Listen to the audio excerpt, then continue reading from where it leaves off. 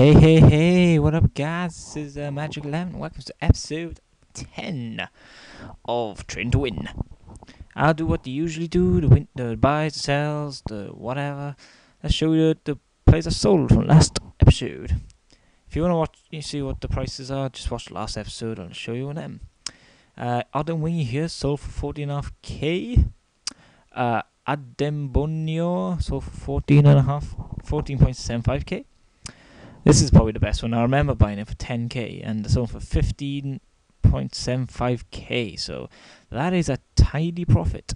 Zigic 17.75k and McGregor Team of the Year 11.750 coins. Those are the players I sold. I had about 60k, so I'll show you who I bought.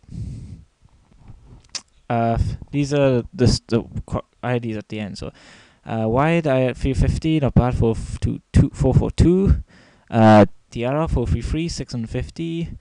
Uh, Tara 4312. I could convert it to a centre forward to get more money out. 650. 650 for him. He's got really good pace and dribbling. Uh, 650 of Abdal. Hope we can get a K out of him. I bought this just to uh, convert to one of the players in my players I bought. So just to make a bit more coins. Piprota 10 point, 10.25k. That's not bad. Jonny Evans 10.25k. Hopefully you can get about 12k out of him.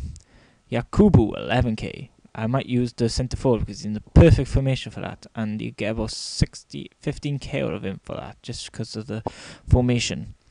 Uh, De Griezmann 11.25 in a good formation, so hopefully you get quite a bit out of him. Alvarez 12.25k in a good formation, and probably the best buy episode, hopefully.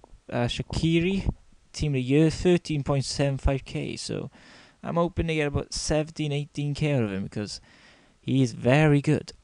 So, yes, this is the end of the episode. Hopefully, you liked it.